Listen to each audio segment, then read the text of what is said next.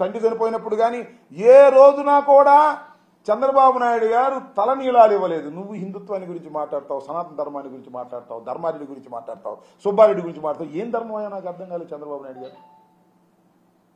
మీ తండ్రి తల్లి చనిపోయిన రోజున ఏ రోజున కూడా ఒక పెద్ద కొడుకుగా నువ్వు హిందూ సాంప్రదాయాన్ని అనుసరించి గుండు చేయించుకున్నటువంటి వ్యక్తివి. తిరుపతి వచ్చి ఏ రోజున గుండు చేయించుకోలేదు నువ్వు.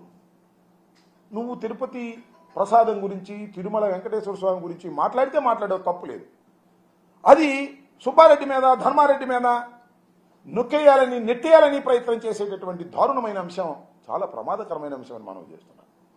సుబ్బారెడ్డి గారి సతీమణి ఆమె పేరు స్వర్ణ అనుకుంటా నాకు గుర్తున్నంత వరకు. ఆమె పేరుతో ఒక గెస్ట్ హౌస్ ఉంది తిరుమల తిరుపతి కొండ మీద. ఆయన చైర్మన్ అయిన తర్వాత పెట్టింది కాదు అంతకుముందే ముందే పెట్టుకున్నాడు ఆయన. ప్రేమతో భక్తితో. ఆమె ఎంత భక్తురాలంటే ప్రతిరోజు గోవుకి పూజ చేసిన తర్వాత బయటకు వస్తారు వాళ్ళు. అంత సనాతన ధర్మాన్ని పాటించేటటువంటి వ్యక్తి సుబ్బారెడ్డి గారి భార్య. ఆమెను బయటికి లాక్కొచ్చి తిడుతున్నావు ధర్మారెడ్డి కొడుకు చనిపోతే దాన్ని తిడుతున్నావు? నువ్వే సనాతన ధర్మానికి చాలా నిర్దిష్టమైనటువంటి వ్యక్తి అనేటువంటి మెట్లుని కడిగారు. అయ్యా పవన్ కళ్యాణ్ గారు మేము తప్పు చేస్తే మీరు మెట్లు కడవటం ఏంటండి? మేము తప్పు చేసామని నిరూపించండి నీ బూట్లు దుడుస్తా నేను. మేము తప్పు చేసామని నిరూపించు. లడ్డూ ప్రసాదంలో జంతువులు కొయ్యి క- కొవ్వు కలిసింది ఆ నువ్వు నిరూపించు. నీ బూట్లు తుడిచే కార్యక్రమం చేస్తాం. ఏంది డ్రామాలు? అదేమంటే ఆయన ఏమన్నాయంటే హైందవ దేవాలయాలే వైసీపీ హైందవులే దేవాలయాలకు నష్టం జరుగుతుంటే పట్టించుకోలేదు. హిందూ దేవాలయాలు. నేను మనవి చేస్తున్నా.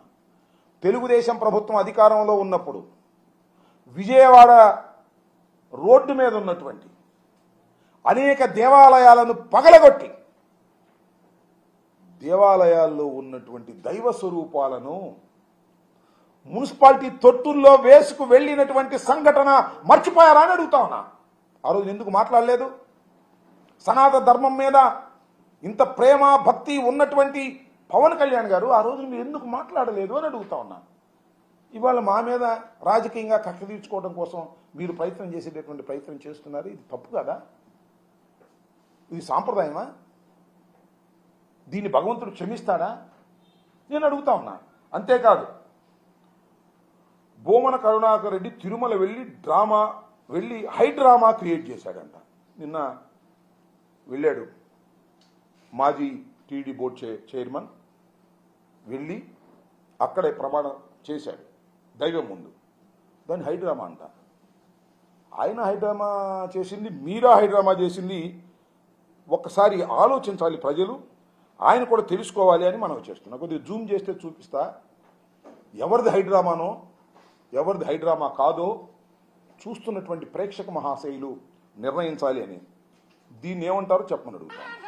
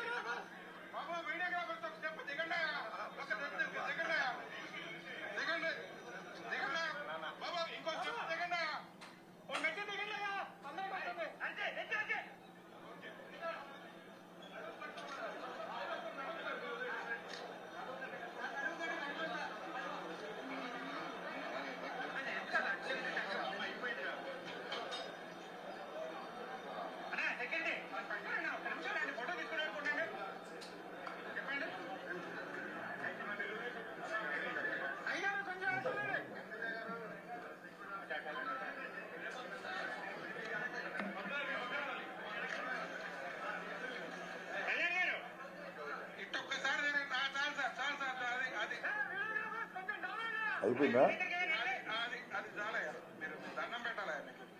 చాలు మీకు దండం పెట్టాలి. అది.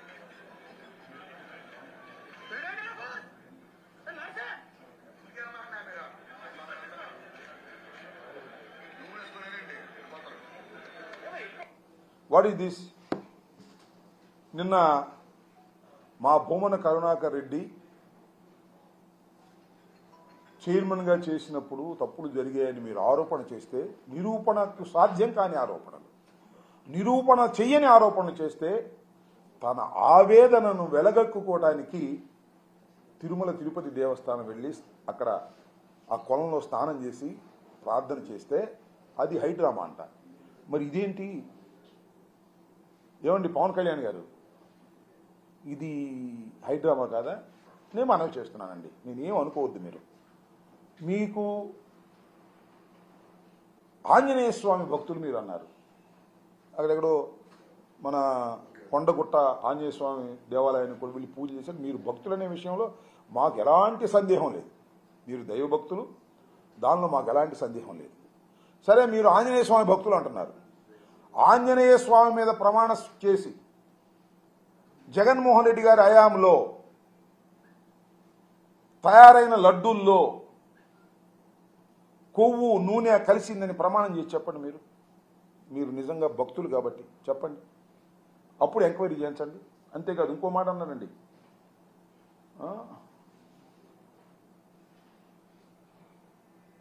ఏదది అక్కడెక్కడ